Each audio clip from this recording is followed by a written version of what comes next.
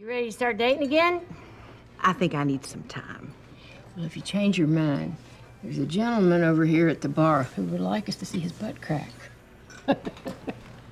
So then was there no big blow up when he left? Not really. Well, what happened? Let's see. We used to be happy. Little by little, we weren't.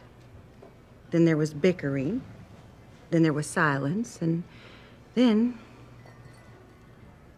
it was over. I mean, all couples bicker, right? You worried about you and George? Of course.